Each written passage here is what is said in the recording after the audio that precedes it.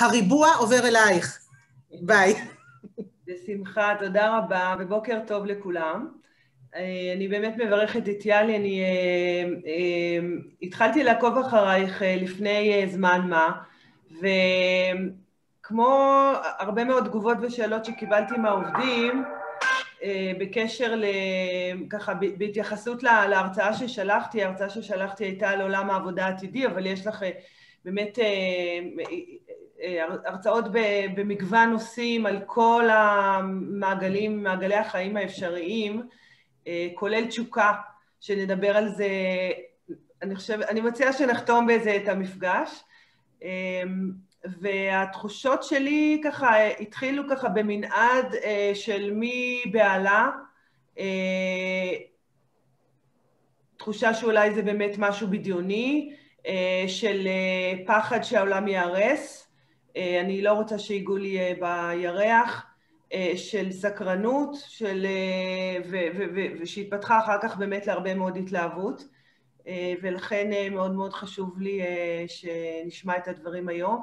כמובן שהדברים הם מדברים על, על, על מעגל של שינויים, אני חושבת, במאה השנים האחרונות, זה לא הולך לקרות מחר בבוקר, וזה גם במבט בינלאומי, בישראל אולי זה יהיה טיפה אחרת, ואני אשמח שככה תעשי לנו את ה... את ההבחנות אם הן, אה, אם קיימות.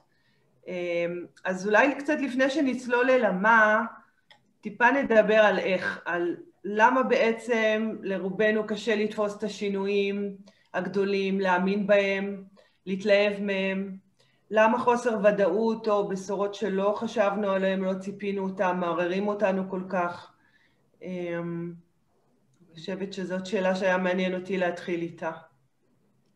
בסדר, אני לפני זה, אם מותר לי רק להגיד תודה רבה על ההזמנה, ואני מאוד מאוד שמחה להיות איתכם, ואני אגיד שבעיניי חברה נבחנת, העוצמה האמיתית של חברה שהיא עוצמה מוסרית, נבחנת באיך היא מטפלת בחלשים.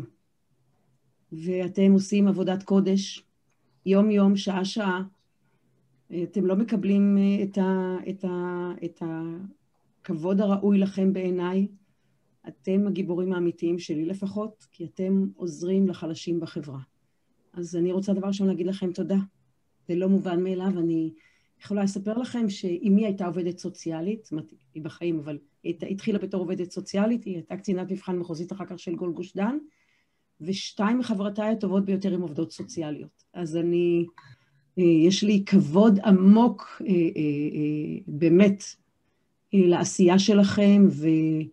ומעבר לכבוד, השתאות על גדולת הנפש, על החמלה, על החמלה שמתורגמת לעשייה פרקטית אה, ושמשפיעה על חיים של אנשים. אז אני רוצה דווקא להתחיל ולהגיד לכם תודה רבה. נראה לי שאתם באמת אה, אחד העוגנים החשובים של כל חברה ובטח של החברה הישראלית. אז זה בסדר, זה היה חשוב לי להגיד לפני כל דבר, אה, ברשותכם. אה, אז זהו, אז אה, מי שמכיר אותי יודע שאני ממש ממש בן אדם לא פורמלי בכלל, נהפוך הוא, ואני בסך הכל לא מומחית לשום דבר, אני במקרה הטוב תלמידה, תלמידה שמשקיעה כי היא אוהבת ללמוד, ותלמידה שתלמידה תפקידה לחלק את הידע ולהעביר אותו, לשתף אותו, תלמידה משתפת. אז מה שאני אומרת, חשוב לדעת שאני לא אומרת לכם כרגע, בלי שום קשר לזה שאני עוסקת במערך נושאים, ואני עובדת בהם, ואני לומדת, אני לא מזהה את עצמי כמומחית, ולכן תיקחו את זה פשוט כעוד זווית ראייה. יותר מזה, אני רוצה להגיד לכם שאחת הסיבות שנורא נוח לי להיות תלמידה, משום שהידע מתחדש כרגע בכל תחום כל כך מהר. תבינו, בעולם הרפואה פעם הידע היה מתחדש כל 50 שנה, היום הוא מתחדש כל 77 יום. אז כשאתה תלמיד ואתה לא אומר שאתה מומחה, גם מותר לך בעוד חמש שנים להגיד, אופס, אני חושב לגמרי אחרת. שבעיניי זה אחד הדברים שאנחנו נצטרך. אפרופו חסר ודאות, תכף אני אחבר את זה. ואני אסביר למה אני מתכוונת. תראו, במשך אה, אה, אלפי שנים, מיליוני שנים, אבל בואו נדבר על השנים שאנחנו כבר יודעים לספור, מה שנקרא. אה, אה, העולם מתקדם בקצב אה, לינארי ומקומי. ומה המשמעות של קצב לינארי ומקומי? המשמעות היא שאם משהו, דברים שהשפיעו עליי, יהיו דברים שהתרחשו במרחק של יום הליכה ממני, יומיים הליכה ממני, משהו כזה, יום נסיעה בסוס ועגלה. וליניארי המשמעות היא ש... בואו נגיד שאני חיה כרגע בתקופת המערות, ויש כאן אה, לביאה מאוד מאוד רעבה, ואני אומרת לכם שהמערה שלי היא במרחק 30 צעדים.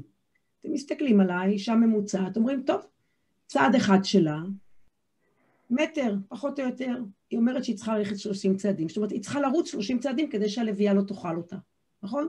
נורא פשוט.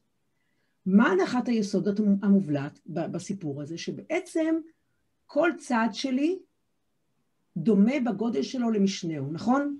לכן הצעד הראשון, השני והשלישי, כולם יהיו מטר. מטר אחד, של... מטר אחד זה צעד, 30, 30 צעדים זה 30 מטרים. בעולם שהוא עולם אה, אקספוננציאלי וגלובלי, תכף נדבר על הגלובלי, אבל קודם על האקספוננציאלי, זה אומר שכל צעד שאני עושה, ממש סליחה, אני מחליפה משפ, משפעת, לקחתי את החיסון ואז חטפתי את השפעת, אבל כל צעד הוא בחזקה. זאת אומרת, זה 2, 4, 8, 16. ואם אתם עומדים לידי ואני אומרת לכם, תקשיבו, המערה שלי במרחק של 30 צעדים אקספוננציאליים ממני, תבינו שזה אומר שאני מקיפה את כדור הארץ 26 פעם. רוב הסיכויים, אני מניחה שהלוויה תתפוס אותי, אוקיי? וזה הקצב שבו העולם מתקדם. תכף אני אסביר גם למה העולם מתקדם ככה, אבל אני רוצה שתבינו שהשינוי הדרמטי זה דבר ראשון קצב השינוי. זאת אומרת, העולם היה לינארי, ובאמת יכולנו להניח שהעולם של הילדים שלנו לא יהיה מאוד מאוד שונה משלנו, והעולם של, וההורים שלנו יכלו להניח שהעולם שלנו ישתנה. תמיד העולם השתנה, תמיד יש השתנות, אבל לא בקצבים האלה. זה קצבים שהאנושות לא הייתה רגילה אליהם, מעולם.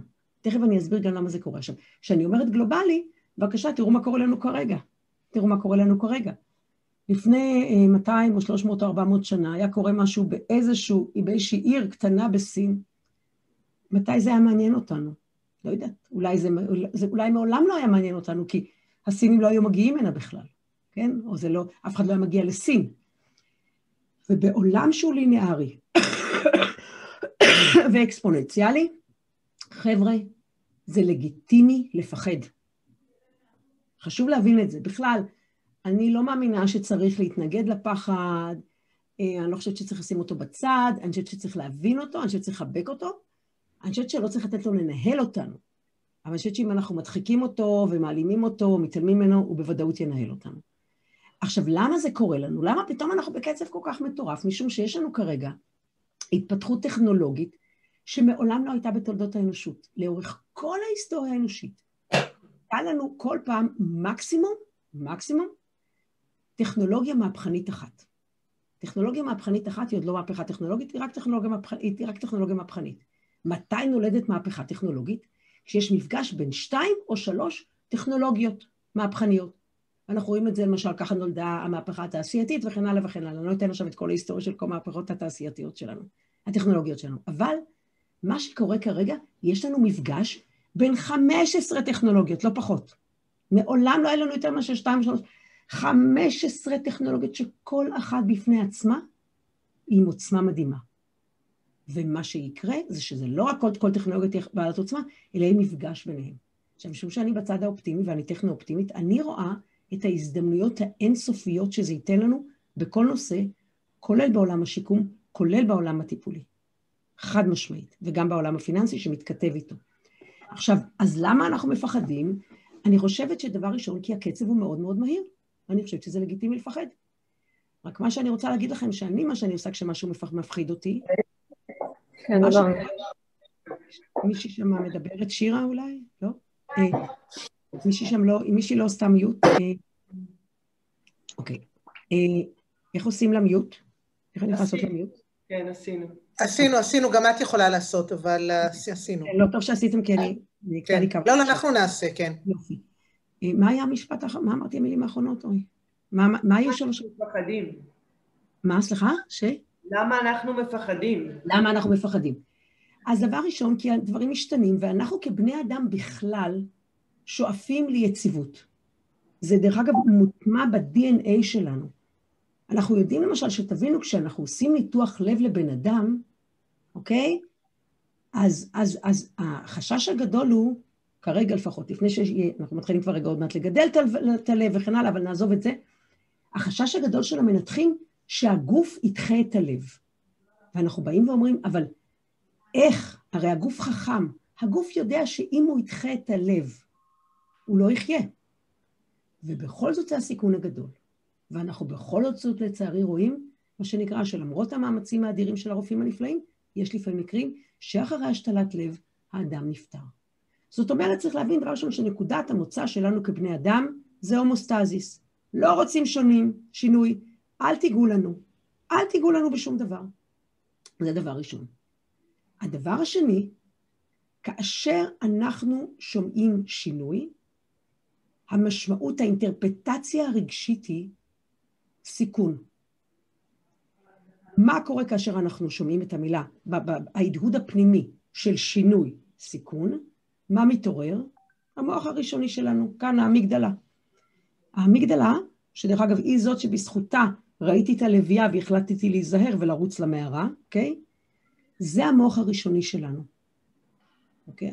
המוח הראשוני שלנו, בדרך כלל הוא בעל עוצמה, הוא רגיש כל כך לתגובות, שהתוצאה היא שאנחנו קשובים לבשורות שליליות יותר מאשר חיוביות בין פי, בין פי שבע לפי עשר.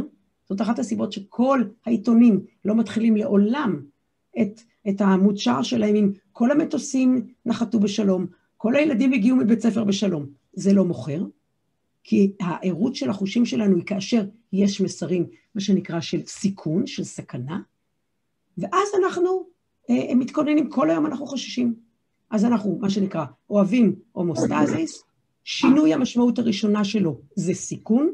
עכשיו, שתבינו גם כמה המערכת חזקה, לאמיגדלה יש את היכולת לעצור את זרימת האדם לחלק הקדמי של המוח, שכאן בדרך אגב מתכוונות, זה הנאורקורטר, שכאן אנחנו מתקדמות, כאן מה שנקרא, יש לנו את החשיבה לטווח ארוך, החשיבה הרציונלית וחשיבה מרחבית, אוקיי?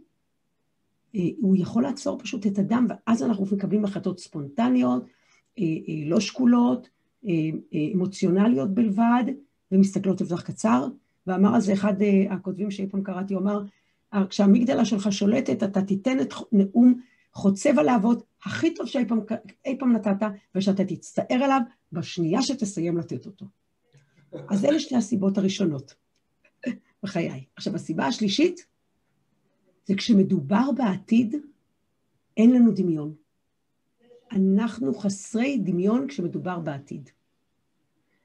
ותבינו שאנחנו כל כך חסרי דמיון, שגם האנשים שהשקיעו את חייהם בלמצוא פתרונות חדשים, לא הבינו מה הולך לקרות עם הפתרונות האלה.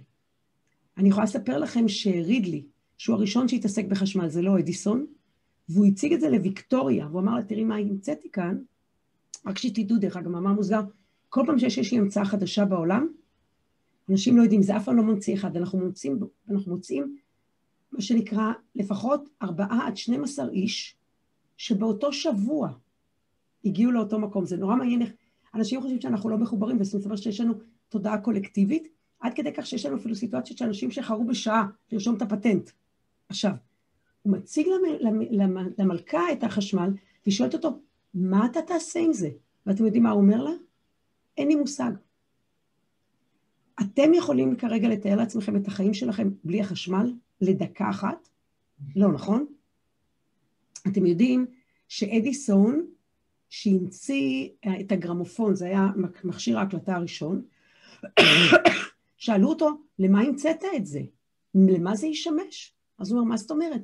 אנחנו נקליט את המילים האחרונות של כל מי שנמצא כרגע על ערש דווי והולך למות, שיהיה למשפחה את המילים האחרונות שלו. אני לא ראיתי אף פעם תקליטים כאלה, ולא דיסקים כאלה. עכשיו, לכן אני מסבירה כמה אנחנו קשים, מתקשים לראות את המציאות, אני, את, את, את, כמה אנחנו מתקשים לחשוב על עתיד. האיש שלמעשה, סר טימותי, תכף אני אצטרך בשם משפחה, שלמעשה בנה את התשתית של הארפנט, שאחר כך הפך לאינטרנט, וב-1990, כשהתחילו להיות צעדים שהאינטרנט הופך להיות למשהו אחר, אה, אה, ואז ב-97 המצאנו את המוזאיק, אה, וכן הלאה, והתחילו להיות מה שנקרא אתרי אינטרנט, אתם, אתם, אתם זוכרים שהיינו עולים לאינטרנט, אתם זוכרים עם הצליל הזה, המעצבן, כן, וכן מתחברים ולא מתחברים, ואיפה יש בבית וכן הלאה, ככה התחלנו את האינטרנט. הוא אמר שלדעתו עד סוף 2008, סליחה, 1998, האינטרנט יקרוס כי הוא לא יעמוד בעומס. והוא כתב על זה מאמר מאוד מאוד רציני, עם הרבה מאוד נימוקים, באחד המגזינים הכי חשובים. והוא סיים ואמר, כנראה בביטחון עצמי מופרז, שאם הוא יוכח, יוכח שהוא טועה, הוא יעלה על אותה במה, שנה אחרי, ייקח את המאמר, ומה שנקרא, יבלע אותו. ייאמר לזכותו, האיש הזה שאלה שנה אחרי, לקח את המאמר, הביא בלנדר, גרס את זה עם מים ושתה את המאמר של עצמו, אוקיי? אז מה שחשוב לדעת, בדיוק, זאת אומרת, זה כולנו. כולנו, כולנו, כולנו חסרי דמיון על העתיד. ואז, מה שאני חושבת שאנחנו צריכים לעשות, זה דבר ראשון להבין שאנחנו מפחדים. זה בסדר לפחד. אתם יודעים, ברנה בראון המופלאה, שאני מתארת לעצמי שחלקכם מכירים, ואם לא, אני ממליצה להכיר, היא מומחית של אה, בושה ואשמה, שהיא כמובן הפכה להיות אה, ממש מנהיגה מאוד משמעותית בכל מה שקשור בכלל להבנה של, המ... של מה שנקרא, של אה, מה שנקרא vulnerability, נו, פגיעות. והיא אומרת, זה בסדר, היא אומרת, אם אתה לא פגיע, ואם אתה לא מפחד, לא יהיה שום דבר נפלא. דברים נפלאים קורים גם כשאתה מפחד. ויותר מזה, היא אומרת, המשמעות העמוקה של להיות אמיץ זה להיות פגיע. והיא מספרת שהיא תמיד, כל יום לפני שהיא קמה בבוקר, אומרת לעצמה, לפני שהיא אומרת תמיד, לפני שאני שמה את שתי כפות הרגליים על הרצפה, אני אומרת לה, היא אומרת, אני אומרת לעצמי, אני מבטיחה לעצמי, היום להיות אמיצה. לא יודעת לגבי מחר, לא לגבי מחרתיים. היום אני הולכת להיות אמיצה, אני הולכת להיות נוכחת בחיים שלי, ואני הולכת לעשות את העבודה שחשובה לי, מתוך ידיעה שאני אחטוף, שאני אפול, שאני אכשל, מה שנקרא, ואני אצטרך לקום משם. אז אני חושבת שאנחנו צריכים להבין שאנחנו באמת במידה רבה הולכים אל הלא נודע. אל הלא נודע. אבל אני חושבת ש... אחת, אני חושבת, המיומנויות שאנחנו צריכים לפתח לעצמנו, למטופלים שלנו, איך בעצם ללכת, ללמוד ללכת לאיבוד בלי, אמ, אמ, בלי להיכנס ללחץ ובסופו של דבר למצוא את הדרך. כי באמת הטכנולוגיה הולכת אל הלא נודע, אין לנו את כל התשובות. אין לנו, לא, נהפוך הוא, אני אגיד, אני אגיד יותר מזה. שאין לנו תשובות, ואני מאוד שמחה שאין לנו תשובות. אתם יודעים למה אני שמחה? כי אני חושבת שאם אין לנו כרגע תשובות, יהיה לנו תשובות יותר טובות. ואם יש לנו תשובות יותר טובות, הדבר המשמעותי שיקרה לנו, זה שאנחנו נלמד לשאול שאלות יותר טובות. ובעיניי המסע האמיתי של העשור הקרוב הוא מסע של גילוי. כי אני חושבת שבמידה רבה המין האנושי הולך לגלות את עצמו מחדש. עם יכולות שמעולם לא היו לנו. חבר'ה, הולכת להיות לנו, אני אתן לכם רק כדוגמה, שתי דוגמאות, הולכת להיות לנו אופציה של uh, משקפי virtual reality, שבאמצעותם אני יכולה לראות מה שקורה אם אני כבאית ואני יכולה לראות איפה יש אש ואני לא אסכן את עצמי ואת החברים שלי. ותהיה לי רצועה שאני יכולה כאן להצמיד לעצמי, ושאני עשר דקות ביום תשפר את הזיכרון לטווח קצר שלי, ואם אני משפר את הזיכרון לטווח קצר שלי, בעשרה עד חמישה עשר אחוזים, אני משפרת את יכולת ההשתכרות שלי בדיוק באותה מידה. אז הולכים להיות לנו אה, אה, אין סוף דברים חדשים. עכשיו, אני חושבת שאנחנו צריכים לזכור עם מה אנחנו יוצאים לדרך, ואני חושבת שהדבר הכי חשוב שאנחנו לוקחים אותו איתנו, זה אנחנו. גם כשאנחנו הולכים לאיבוד, גם כשאנחנו הולכים לאיבוד יש לנו אותנו.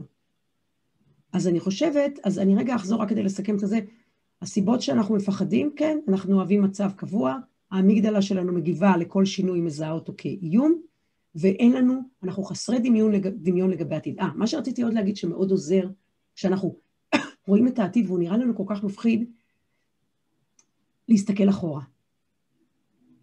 ולהיזכר את הדרך שבה, שאותה אנחנו עשינו. אז בואו נדבר על זה, שאני רוצה להזכיר לכולנו, שאם היינו חיים ב-1820, 12 אחוזים בלבד ידעו קרוא וכתוב. תחשבו על זה. אם אנחנו חס וחלילה פוגשים, אתם יודעים שהיום בארצות הברית יש לנו עדיין, שזה מזעזע, מתוך 360 מיליון, יש לנו 30 מיליון שלא יודעים קרוא וכתוב. הרי זה להיות עיוור למעשה, תחשבו, במידה רבה לעולם, לא לדעת קרוא וכתוב. תחשבו על עצמכם, או על מי שאתם אוהבים שלא ידע קרוא וכתוב. איזה מזל שהתקדמנו. תחשבו על זה שתוחלת החיים רק ב-1900 הגיע ל-49. בממוצע. וגם זה, תחשבו על זה שביסמרק שקבע את גיל הפנסיה ל-65, הוא קבע אותו נדמה לי ב-1860 או 1880, אל תתפסו אותי, הוא היה שר, ה, אה, אה, הוא היה שר המלחמה של הממלכה האוסטרו-הונגרית, והוא גם היה שר הכספים הפיננסיים, והוא ידע שהגיל הממוצע 49, והוא אמר 100 אחוז, 65, נו, יהיו כמה שיגיעו, ניתן להם כמה גרושים, אוקיי? ואנחנו עדיין, תראו, אנחנו שבויים בפרדיגמה. היום אם חס וחלילה אדם נפטר בגיל 75, מה אנחנו אומרים? כל כך צעיר, איך זה קרה? מה קרה? ואנחנו עוד לפני קפיצה עוד יותר גדולה. זאת אומרת, כרגע, אני מאחל שרוב שמי שנמצא איתנו כאן כרגע, יחיה לפחות עד גיל 100 אם לא יותר, אוקיי? כן. יש לך, אני חושבת, איזושהי אג'נדה, או לא אג'נדה, איזשהו חקר בנושא של תוחלת החיים. כן, כן. כן. אז כן, אנחנו... לאן אנחנו הולכים? אנשים שהיום הם בני 50 יחיו לפחות עד גיל 100. כולנו נהיה מאוד מאוד פעילים עד גיל 85. אה, ולכן גם גיל הפרישה הוא לא רלוונטי, מהרבה מאוד מובנים, כי אנשים רוצים להמשיך לעבוד, הם רוצים להרגיש פעילים, בטח הגברים שזה, אנחנו רואים שזה אחד המוקדים הכי מרכזיים לזהות העצמית שלהם, נשים יש להם מרחב הרבה יותר רחב, אבל גם נשים הן רוצות להמשיך לעבוד, אין שום סיבה שלא. אנחנו נמשיך לעבוד עד גיל 85 לפחות. אה, הילדים שלנו יחיו לפחות, חבר'ה, שהיום בני 20-25 יחיו לפחות עד גיל 120, והנכדים הרבה מעבר. אנחנו בפני קפיצה שמעולם המין האנושי. עכשיו, מה שחשוב לדעת, אנחנו לא משפרים רק את, אה, אורך, את אה, משך החיים, אלא גם, לא רק את תוחלת החיים, אלא גם את איכות החיים. זאת אומרת, אנחנו נגיע למצב שאנחנו נהיה, אם בכלל, אם בכלל, חולים, רק בשלבים המאוד מאוד מאוד מאוחרים, ממש תקופה קצרה, כי היום מסך הכל אה, גילאי 65 ומעלה, לפחות בארץ, אבל זה גם מקביל בעולם, אנחנו 83 אחוזים, מה שנקרא, מתפקדים טוב לגילם, יש לנו 14 אחוזים של נחלשים, יש לנו את הכמה אחוזים הבודדים, מה שנקרא, שהם בסוף החיים, ששם הולך רוב התקציב הרפואי היום, לצערי. לא שלא צריך לטפל. מעגלי השינוי שעומדים להיות תוחלת החיים זה בעצם איזושהי פונקציה של אה, התפתחות אדירה בתחום הבריאות. אם את אומרת שהרוב יחיו כבר עד 120 פלוס בבריאות טובה יחסית. כן, חד משמעית, חד משמעית. אז, אז עכשיו, תארו לעצמכם שאתם יושבים, למה אני אומרת, אז אני רוצה רגע לחזור לשאלה של הפחד כדי לגמור את הסיפור, נורית. תחשבו שאתם עכשיו נפגשים עם סבא רבא שלכם, והוא בתחילת המאה הקודמת, רק לא כל כך הרבה זמן, לפני 120 שנה. ואתם אומרים לו, סבא, סבא, סבא, יש לי כאן תרופות, ויש לי כאן כל מיני מכשורים, ויש לי כל מיני דברים שאם אתה תסכים שניתן לך אותם, אתה תחיה עוד 30-40 שנה, ותראה את הנכדי נכדים שלך, ואת הניני נינים שלך. מה אתם חושבים שהוא היה אומר? הוא היה מסתכל, הוא היה אומר, נכדתי האהובה, את מקסימה, אבל המוח שלך בעננים, אין כאלה דברים. אנשים חיים עד גיל 50, ואלה החיים, וצריך לקבל את זה. זהו, אוקיי? אז כל פעם תחזרו אחורה. תחזרו אחורה ותיזכרו. אני רוצה להזכיר לכולנו, בשנים שאני גדלתי, יש לנו, נראה לי שיש כאן עוד הרבה, עוד חלק, מה היה מנוע החיפוש שלנו? הספרייה, נכון? אז היינו עושות מנוע, מינוי לשני, נכון? שני מינויים. והיינו נחמדים לספר, לספרנית שתשמור את הספרים שלנו, נכון? והיינו עומדים בספרייה ומצלמים את הספרים, את העמודים שאנחנו צריכים בשביל הבחינה, לא יודעת במה, בסוציולוגיה. מי עושה את זה היום? לכולנו יש מנוע חיפוש מוצמד, אישי, מותאם לנו אישית, וגם לא עולה לנו שקל. ואנחנו לא צריכים להיות נחמדים לאף אחד, ואנחנו יכולים להשתמש ב-24 שעות ביממה. אז כן, כל פעם... כן, מה? כן, לי טלפון בבית. מה? לא הבנתי, מה עם הטלפון? כשאני הייתי סטודנטית, שכרתי דירה, אה, ולא היה שם קו טלפון. Mm. עד שנתיים שגרנו שם בדירה הזאת, הקו לא הגיע, לא היה קו בזק. טוב, אז היו לכם יונות דואר או מה? איך הסתדרתם? הסתדרתי, לא, זה לא היה נורא. אני לא זוכרת את זה כמשהו מאוד uh, מסויג. ואני וכרמל דיברנו הרגע על זה שלפני כמה שנים, לא הרבה, למי היה טלפון נייד? הגדולים האלה, המגושמים האלה, רק לעשירי הארץ היה. נכון. והיום הסמארטפון הוא חלק מהגוף שלנו. נכון, לגמרי, לגמרי, לגמרי. וחלקנו אפילו היינו רוצים להיות חלק מהסמארטפון אפילו. שאנחנו נצטרף אליו, לא, לא הוא יצטרף אלינו. אז, אה, אז, אז אני אומרת שאני חושבת שזה לגיטימי לפחד, אני חושבת שזה אנושי לפחד, אני חושבת שזה אפילו חשוב לפחד. פחד זה לא דבר רע. יש לו לפעמים, הוא לפעמים כלי מאוד משמעותי בסיטואציות אה, מסוימות, אבל לתת לו את המקום, אבל לא לנהל. והדבר הבא שאני מציעה זה כל מה שמפחידים אתכם ממנו, כל מה שאתם מפחידים אתכם ממנו, תתנסו בו. מפחידים אתכם מבינה מלאכותית, תתנסו בה. מפחידים אתכם מהדפסת תלת מימד, יש היום הדפסות תלת מימד ב-100 דולר, קנו הביתה מדפסת תלת מימד. כל דבר שמפחידים אתכם, מצוין, לכו לראות מה זה. לא, באמת. כן. כי כשאתה מגיע לשם אתה מבין שאין לי כל כך ממה לפחד. שיש כן? בזה גם שפע. אמ, כן, אני יכולה להבין על מה את אומרת. הבן שלי אה, קנה מדפסת תלת מימד, באמת ביתית, והוא ככה מפנק אותנו בכל מיני דברים אה, לאט לאט שהוא אה, רוצה לעשות, אז זה באמת בקטן, אבל יש בזה באמת הזדמנות ל... ככה... לשפע מסוים, ואני חושבת שזה גם חלק שאת מאוד, דווקא החלק האופטימי, באמת. יש לי רק חלקים אופטימיים, אני לא הכרתי חלקים לא אופטימיים בשכונה, כאן בשכונה. הזאת לפחות. יש עתידנים שהדברים שהם משמיעים נשמעים יותר בחלק של חסר, או בחלקים היותר בעייתיים. אני חושבת שאת מאוד מאוד מזכירה דווקא את החלק של השפע. חבר'ה, אנחנו נסתכל... תכף נצלול גם, גם לנושא עולם העבודה, ששם את גם לא רואה, את לא מדברת על פחד מאבטלה או מחסר במקומות לא. עבודה, אלא להפך, וזה החלק באמת שמאוד מאוד מעניין אותנו. בשמחה, אז אני ארחיב על זה. תראו, אני, אני אסביר איך אני רואה את זה. אני, אני אתן את זה, אבל דבר ראשון, אני רק, אני אתן אולי איזושהי מטאפורה שתמחיש את זה, ואז אני אסביר לאן אנחנו הולכים. תראו, אם היינו נולדים, ואני ממש מתנצלת שאני מדי פעם מקנחת את האף, סליחה, אני ממש, זה לא בשליטתי. הנה, עוד משהו שלא בשליטתנו. אה, אם היינו נולדים ב-1800, ואנחנו נפגשים היום, אני יכולה להבטיח לכם שהייתי רואה אתכם, ולא משום שאתם אנשים לא נקיים או לא מסודרים, בדיוק באותה חליפה שהייתי רואה אתכם אתמול, שלשום, וגם שבועיים קודם. לכולנו היה חולצה אחת, מכנסיים אחד, ואולי זוג לבנים, אם בכלל היו לנו לבנים. אחד. למה? למה? כי טקסטיל היה חגי. כל כך יקר. כל כך יקר.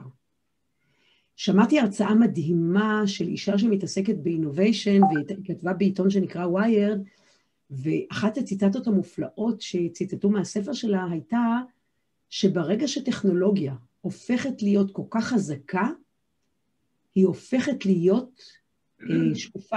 אנחנו לא רואים... אה, יש כאן עוד פעם קולות, יש עוד פעם אנשים. תחשבו על זה שאף אחד מאיתנו, כשאנחנו קמות בבוקר או קמים בבוקר ואנחנו הולכים לארון שלנו, ואנחנו אומרים לעצמנו, אין לנו מה ללבוש, זה לא משום שהארון ריק.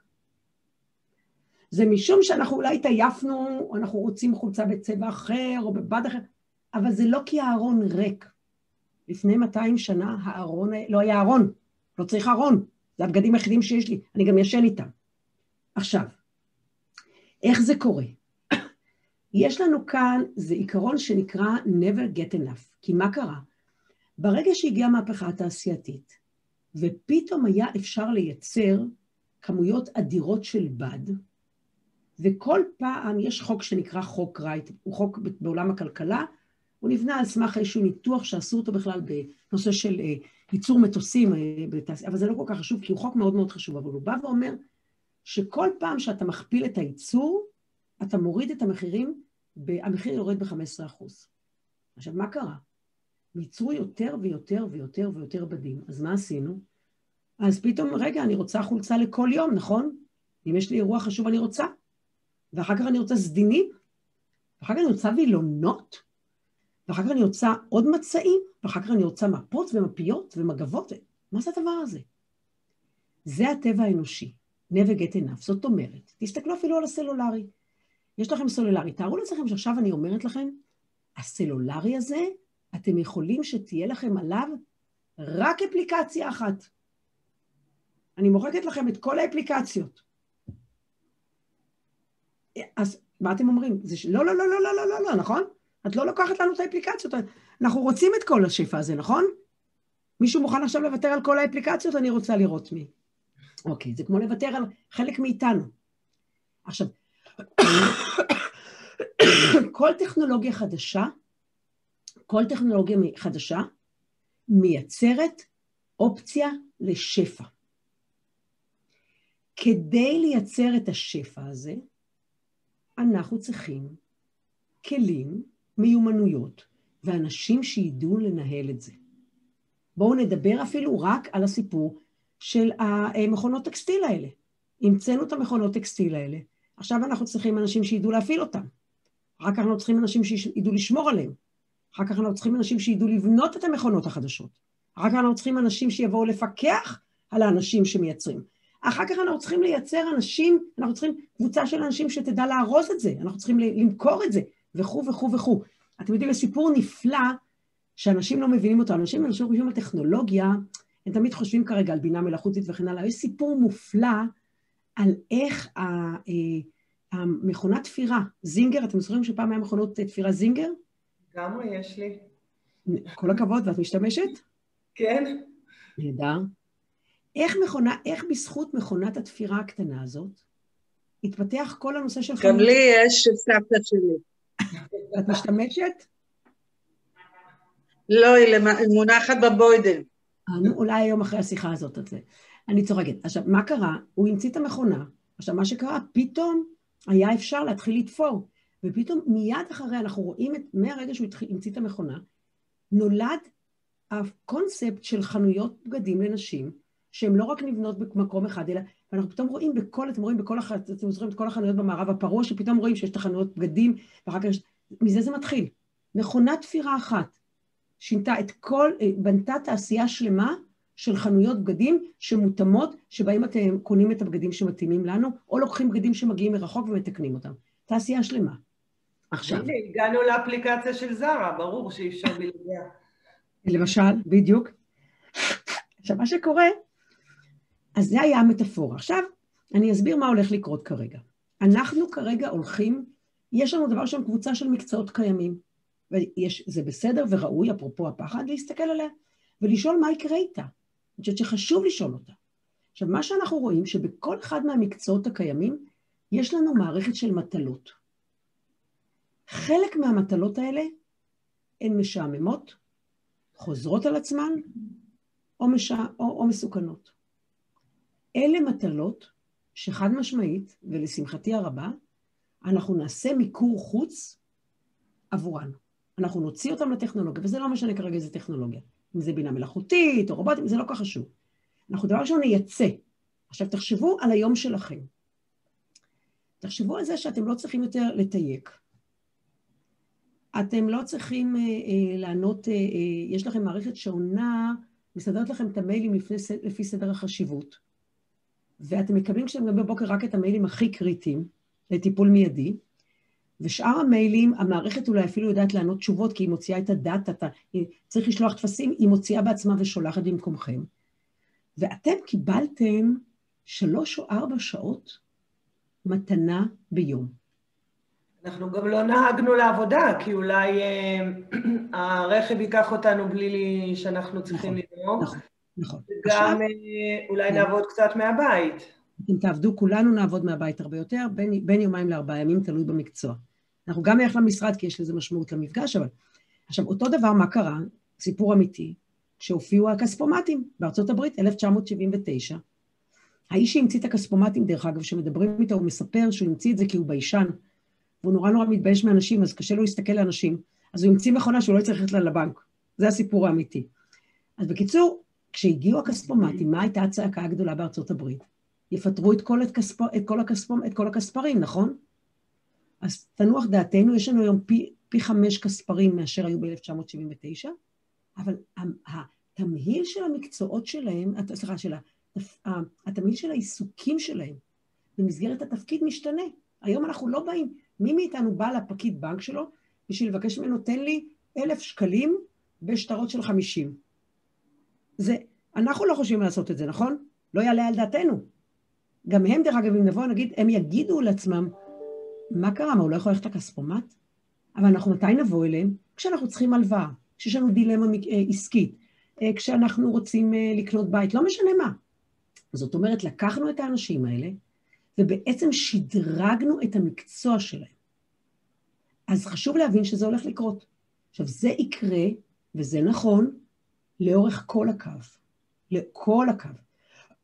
זה יקרה לעורכי דין, לכל מקצועות, מקצועות, המקצועות של צווארון לבן. אה, זה יקרה אה, לרופאים. אני מאושרת, כי רדיולוגים למשל, זה אנשי מקצוע מדהימים, ומה שהם עסוקים כל היום זה לחפש את הדברים, את הכתמים, את השחורים, שהמכונה עושה את זה הרבה יותר טוב, והרבה יותר מהר והרבה יותר זול, ויכולה לעשות את זה 24 שעות ביממה, והרדיולוגים יוכלו להתעסק כרגע באסטרטגיה של טיפול, ולא בלזהות מה הבעיה. אז חד משמעית, אנחנו נעשה מיקור חוץ של חלק גדול מהמטלות, כאשר זה משתנה בהתאם למקצוע, אוקיי? אבל, אז כמו עם הכספרים, אז חלקנו נשאר באותו מקצוע, ומה שנקרא, נעלה לדרגים יותר טובים, שאף פעם אין לנו זמן, נכון? אתה אומר, אוי, אם היה לי זמן, הייתי קורא את המאמר, אם היה לי זמן, הייתי הולך לכנס, אם היה לי את המאמר, הייתי עושה את זה. יהיה לנו את הזמן. נוכל להיות יותר יצירתיים, נוכל לעשות עבודה יותר טובה. יהיה לנו אולי יותר זמן למטופלים שלנו. הרופאים, תחשבו, יש להם שבע דקות. שבע דקות, הם צריכים לטפל בנו, אוקיי? הם צריכים למלא את כל הטפסים. מסתכלים עלינו ככה, אוקיי? הם לא ניגשים, הם לא... אנחנו הולכים לעשות re-humanizing, אוקיי? החזרה של ההומניות למפגש שלנו, למשל, אצל רופאי המשפחה. אז זה נושא ראשון. נושא שני זה מקצועות שיעלמו. יהיו מקצועות שיעלמו. אני חוזרת, מה שיעלם זה בעיקר דברים שכרגע אנחנו יכולים לעשות מיקור חוץ למכונות, מה שנקרא, והם יעשו את זה יותר טוב מאיתנו. אני אתן לכם דוגמה. יש לנו כרגע אה, אה, אה, בארצות הברית 1.3,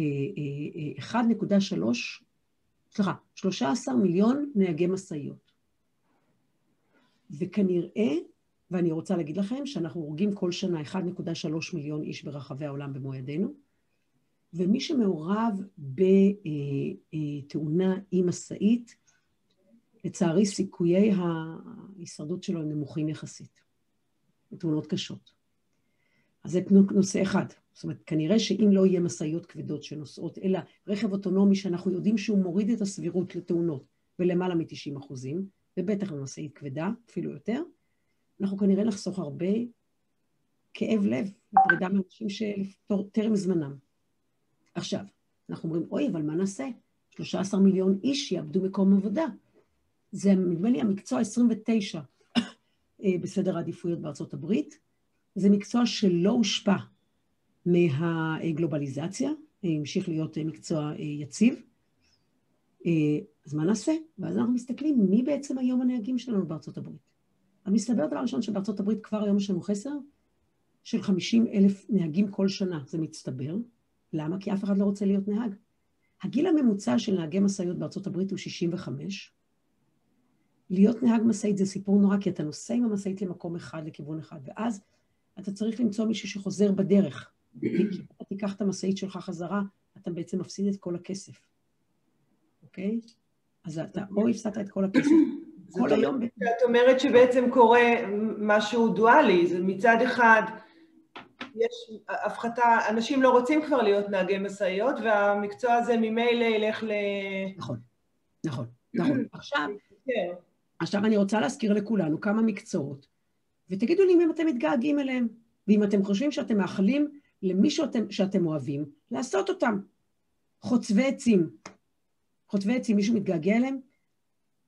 מישהו היה רוצה שמישהו מהמשפחה שלו יהיה מחלק קרח ברחוב?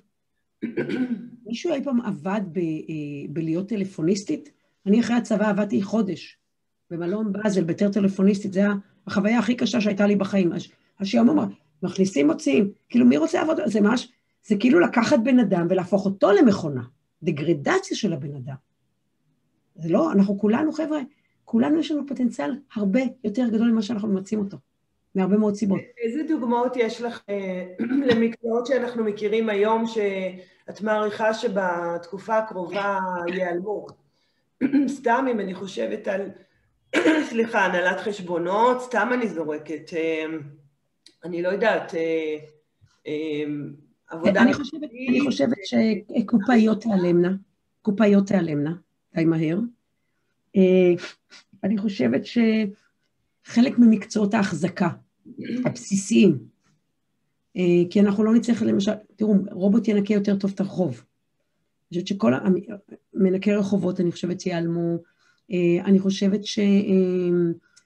אני חושבת שבמקצועות הסיעוד, יהיה לנו דרישה הרבה יותר גדולה, תכף אני אדבר על זה, אבל יש דברים שמאוד מאוד קשים היום, כי אם יש לך חולה מבוגר, אתה צריך מישהו שיעזור לך להרים אותו. אז חלק מהדברים, אנחנו נראה שם, זאת אומרת, יהיה מקצוע אחריות, אחריות להפך, יהיה ביק, ביקוש גובר, אבל יהיה חלק מהמטלות, ש... ואז בעצם אנחנו נראה את עצמנו חיים עם המכונה. אז אולי רגע, אני רק, אני רק אגמור את התזה, ואז זה בסדר? Mm-hmm. אז, אז יהיה לנו מקצועות שיעלמו, והם מקצועות שהם הם בעצם, הם, הלא, הם, הם, הם, הם, הם לא רווחיים, הם עבודת כפיים מאוד מאוד קשה בדרך כלל, או לא רק עבודת כפיים, והם חוזרים על עצמם. ואז זה מקצועות שכנראה, תכף אני אדבר על מה עוד. אה, אני לא חושבת שכל הנהלת החשבונות תיעלם, אני חושבת שחלק מהדברים, כי עדיין צריך כרגע את ה... את, ה, אה, את, את מה שנקרא, צריך מישהו שיסתכל על הנתונים ויעשה אבחון, אה, והולכים להיוולד לנו מקצועות חדשים. עכשיו, זה לגיטימי וחשוב לשאול את עצמנו, האם הקצב שבו המקצועות החדשים נולדים הוא עומד בהלימה עם הקצב של המקצועות שנעלמים, או, או בנוסף לשאול את עצמנו, האם יש לנו יכולת לקחת את האנשים שמאבדים את העבודות ולעשות להם מה שנקרא reskilling למקצועות החדשים? זה שאלות חשובות וחכמות, ובפירוש יכול להיות שבחלק מהמקומות נצטרך לבנות רשת הגנה, שאם תרצו אני ארחיב מה אני חושבת שצריכה להיות רשת ההגנה, לקבוצות האלה. כן, זו ש... שאלה שבליבת העבודה שלנו, הנושא של הסבה מקצועית, אה, לגמרי. כן. אז אני אגיד מה... ממקום, אולי ממקום של אה, אובדן של יכולות אה, גופניות, בדרך כלל מנטליות, אבל, אבל בהחלט אנחנו עסוקים בזה. כן.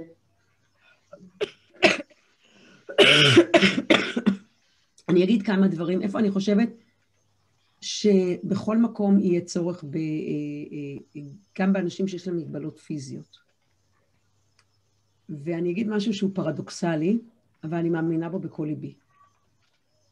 בכל מקום שיש בו צורך בחמלה. בכל מקום שיש בו צורך בחמלה, תמיד יהיה מקום לעוד עבודה ולעוד אנשים. אה, וכולנו מסוגלים לחמלה. אה, מרק טוויין יש לו ציטטה נפלאה שהוא אומר שחמלה זה שפה שגם אחרי שומע וגם העיוור רואה. ואני חושבת שגם אם יש לך מגבלה פיזית, אה, אם זה מעניין אתכם, אני שמעתי איזשהו דיאלוג נפלא עם פסיכולוג קליני שקרוב ימי חייו על כיסא גלגלים, יש מישהו אחר שהוא בן 13, שבגיל איבד את אבא שלו ואת כל המשפחה בתאונת דרכים, הוא היחיד ששרד על כיסא גלגלים, והפך להיות קואוצ', קואוצ'ר בכלל אה, ספורטאים. אז אני חושבת שהסיפור של יכולת אה, אה, לאמפתיה ומשם לעזור לאנשים, זה יהיה צורך שאנחנו נראה בו, אנחנו נראה אותו מתעצם והולך. כי אנחנו נצטרך את זה דבר ראשון למבוגרים, יהיה לנו יותר ויותר מבוגרים, שנצטרך לטפל בהם, משום שכולנו כסוסייטי, כחברה, כציוויליזציה, עוברים תהליך של טרנזקציה מואץ, וכולנו חווים פחד, בלבול, כעס, תחושה של אובדן שליטה. כולנו, בלי יוצא מן הכלל, כולל אותי, נצטרך מערכת תמיכה. אז אם אתם שואלים אותי, וזה קשור למשאבים רגשיים, זה לא קשור למשאבים פיזיים, אה, ואני חושבת שזה דבר מאוד משמעותי. אני חושבת שתהיינה הזדמנויות יוצאות דופן לאוכלוסיות שעד עכשיו לא היה להן, למשל אוטיסטים. בעולם שבו אנחנו יותר ויותר מתקשים לדעת מה אמת ומה לא אמת, משום שהאוטיסטים לא מוטים על ידי כל הקונבנציות החברתיות, הם יכול להיות שהם יהיו מה שנקרא מגלי האמת, אני מצטטת כאן דווקא את אידי ויינר המופלאה. אז זה ככה הדבר, אה, אז רגע לגבי המקצועות ש, שיעלמו, אז אני אגיד, אז דבר ראשון, אז אז דיברתי, אני חושבת קצת, אם צריך להרחיב אני כבר ארחיב. הדבר הבא זה מאיפה יהיו המקצועות החדשים. אז תראו, המקצועות החדשים יהיו דבר ראשון אה, אה, בכל מה שקשור במפגש בין הטכנולוגיות, אנחנו מדברים על זה בעולם המרחבים החדשים, כל מה שקשור למוח, אנחנו נצטרך, כל מה שקשור למרחב המדומיין. זאת אומרת, אנחנו עוברים כרגע, אנחנו בונים פלטפורמה חדשה של מה שנקרא Augmented Reality, מציאות רבודה ומציאות וירטואלית. יש שם הרבה מאוד עבודה. עכשיו, חשוב לדעת שחלק גדול מהמשרות האלה זה משרות שאנשים יכולים לבצע מכל מקום, בכל שעה, וזה בעיניי, אני חושבת שבניגוד למה שאנשים חושבים, המהפכה הקרובה, הטכנולוגית, היא זאת שתאפשר לנו לעשות דסנטרליזציה של הכוח, ובמובן הזה, פעם ראשונה תביא שוויון הזדמנויות גם בשוק העבודה. כי אם אני נמדד לא בכמה אני נחמד לבוס, או כמה אני נראה טוב, או כמה אני שרמנטי, אלא בתפוקה האמיתית, בערך האמיתי שאני מביא לעבודה של הארגון שלי, וזה לא משנה מתי אני עושה את זה, ולא משנה איך אני נראה, ובין כמה אני, ואם יש לי עודף משקל, או אם אני רואה רק בעין אחת, או לא שומע בכלל. זה מה שזה הולך לעשות. עכשיו, הדבר הבא שאני רוצה להגיד שהוא מאוד משמעותי, כל האנשים שהם היום סובלים מאיזה שהם נכויות, אני לא רוצה להגזים, אני כבר אחזור לעולם העבודה, אבל אני רק אומרת משהו מעולם הבריאות. אנחנו נערכים למקום, אני אגיד את זה ככה, אני אצטט את מרטין רוטבלט, שהמחשבה שמישהו מת ב-2030 כי היה חסר לו איזשהו איבר, תיראה לנו לא הגיונית בעליל. אנשים לא ימותו כי הלב שלהם יפסיק לפעום. ועכשיו כל אחד מאיתנו, כל אדם שני מת מהתקף לב. או מסרטן. אנחנו נחליף את כל האיברים. אבל זה גם אומר שכל האנשים שלא שומעים טוב, שלא רואים טוב, שאיבדו יד או שאיבדו רגל, אנחנו נוכל להבנות להם מערך איברים חליפי. זה קורה בקצב הרבה הרבה יותר מהר ממה שאנחנו מבינים. אנשים לא נחשפים לזה. בעולם הרפואה כרגע, כל יום יש נס חדש, אין לי דרך אחרת להגדיר את זה. אה, אתמול היה מאמר על איך אנשים מבוגרים, שמה שנקרא מתעוורים בגלל החוסר יכולת, כל המערך הפנימי של, ה, של הרטניה, אנחנו יכולים כרגע בניתוח פשוט להחליף להם את זה. ניתוח של עשר דקות. אז גם הסיפור של מה זה מושלמות פיזית, או מה זה נכות פיזית, אה, הוא, הוא, הוא עולם שיעבור טרנספורמציה. הוא עולם שיעבור טרנספורמציה. אה, אה, בלי שום קשר לזה שאני, בעולם שלי, חושבת שכולנו פגומים, וטוב שכך, וטוב שכך. כי זה מאפשר לנו למצוא את האנושיות שבתוכנו. ולא לשכוח את הצניעות, המבלנס אה, זו מילה יותר טובה, ש, שכולנו צריכים להיות, אה, לחיות לאורה. אז, אז אני רגע עכשיו רוצה. עכשיו, יש לנו מערך רחב מאוד של מקצועות שנולדים. עכשיו, חלק מהמקצועות, הם יחייבו איזושהי הבנה טכנולוגית. אבל, אני רוצה להסביר משהו, כי אני אומרת לכם כרגע הבנה טכנולוגית, התרגום הפרקטי בשפה הנוכחית שלנו זה ללכת ללמוד שלוש או שש שנים כדי לקבל תואר אקדמי. זה לא יהיה רלוונטי יותר. זה לא יהיה רלוונטי לא משום שמוסדות החינוך שלנו לא טובים, חס וחלילה, אלא משום, משום שהקצב כל הזמן של הידע מצטבר. אני רוצה להסביר לנו שבשנתיים האחרונות אנחנו ייצרנו 95 אחוז מהידע שאי פעם בנינו. רק בשנה שעברה, סליחה, 2019, 2020 אין עוד דאטה בגלל כל הבלאגן, אבל אנחנו ייצרנו ייצור של היקף, היקף המידע שיצרנו הוא 44 טראבייט, שתבינו 44, זטה בייט, סליחה, זטה בייט, 44 זטה בייט, זאת אומרת שאני אקח ספרים, שני, שתי ערימות של ספרים ואני אשלח אותם עד פלוטו ובחזרה. תבינו על מה אני מדברת. ולכן כל המודל של מה זה ידע, ואיך אני לומד, ואיך אני משמר, ומתי אני מתחלף אותו. אנחנו מעולם לא היה לנו מונח בהיסטוריה האנושית של תוותר על ידע. אנחנו לא יכולים לשכוח את מה שאנחנו יודעים. עכשיו, מה שזה אומר, שגם אם אני לא הלכתי ולמדתי שש או תשע או עשר שנים, קו הפתיחה שלי למקום עבודה הוא לא פחות טוב. כי בלאו הכי אני אצטרך כל הזמן ללמוד. ולכן גם שבוע העבודה שלנו הולך להשתנות. אנחנו לא נלך, המודל חיים של לימודים עבודה, לימודים ועבודה, בכלל לא משנה, אחר כך פנסיה, נעזוב את הפנסיה, הוא לא יהיה רלוונטי יותר, כי אנחנו נצטרך להתחיל לעבוד, וכשאנחנו נבין מה אנחנו רוצים, איפה התשוקה שלנו, אנחנו נצטרך כל הזמן training on the job, כי גם, כי גם הכלים משתנים וגם האפשרויות משתנות, וגם הארגון שלנו צריך ללמוד. אז אנחנו כל הזמן נלמד, זה יהיה, אנחנו נלמד יומיים, ואנחנו ארבעה ימים נעבוד, או לא משנה. אז זה הסיפור שהוא מאוד מאוד משמעותי. אז זה שיש, שחלק מהמקצועות הם טכנולוגיים או טכניים, זאת לא הבעיה. אוקיי? דבר ראשון, כי יהיה לנו מה שנקרא, אנחנו לא נצטרך להשקיע בהכנה המוקדמת. אז זאת הסיבה הראשונה.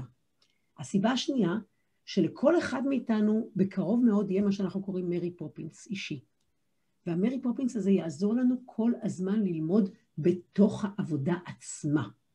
לא תהיה הסגרגציה הזאת של מתי אני לומד ומתי אני עובד, לא תהיה קיימת יותר, זה יהיה, יהיה לנו איחוד של שני המונחים האלה בו זמנית. אוקיי? אז זה הדבר השני שאנחנו צריכים להבין אותו.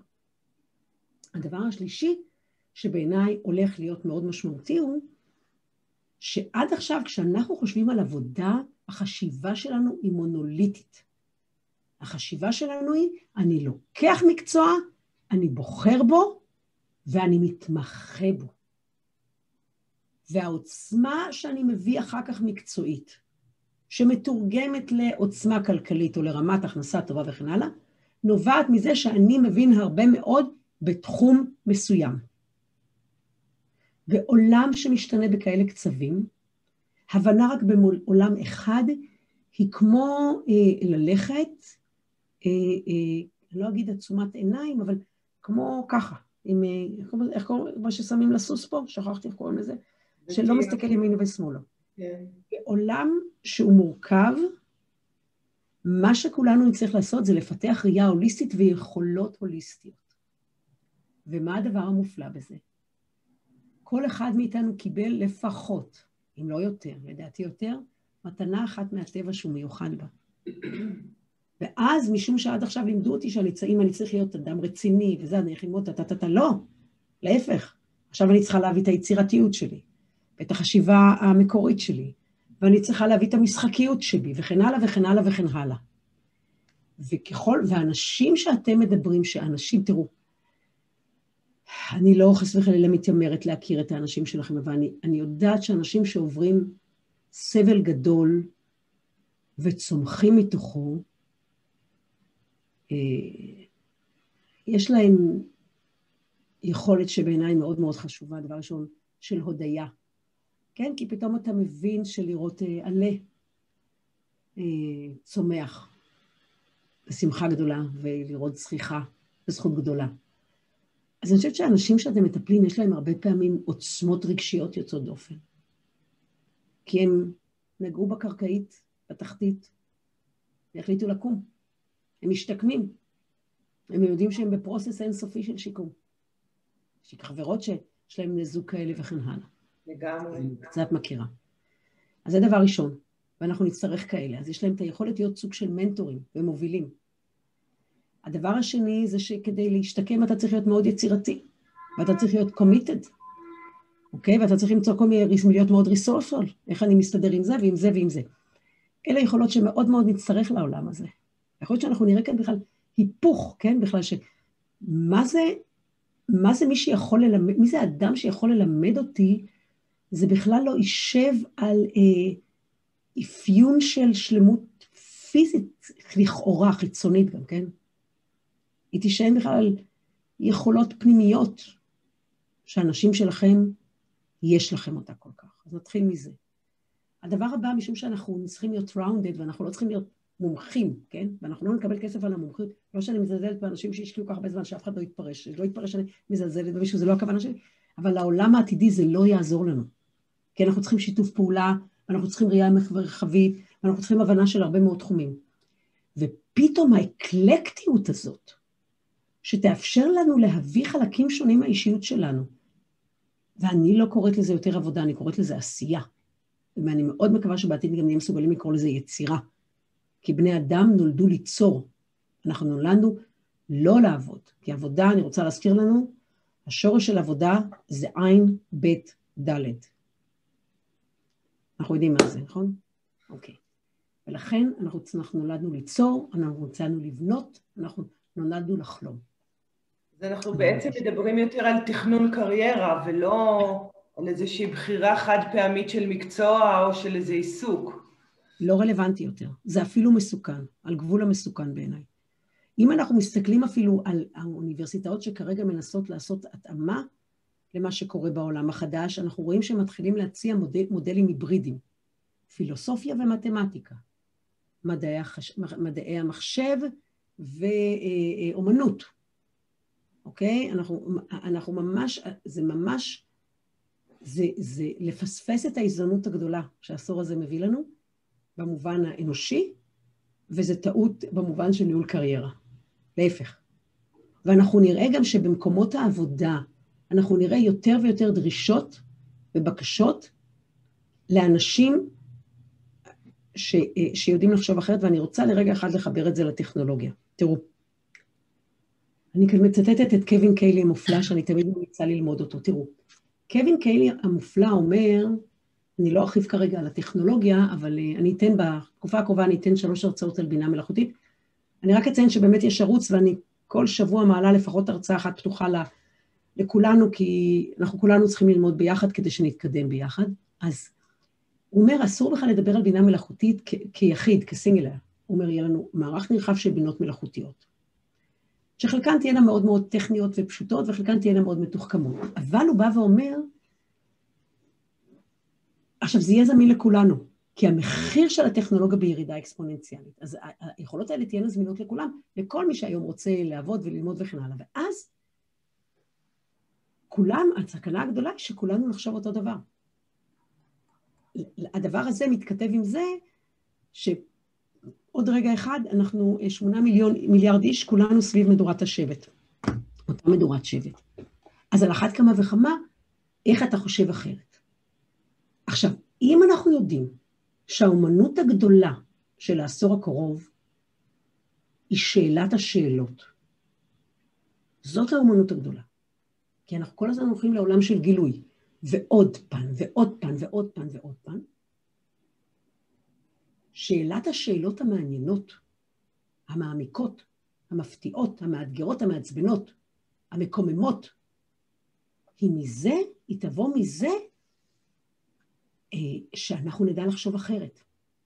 אנחנו נדע לחשוב אחרת אם אנחנו נתמקד ואנחנו, סליחה, אנחנו לא נתמקד, אנחנו נלמד עולמות שונים לחלוטין.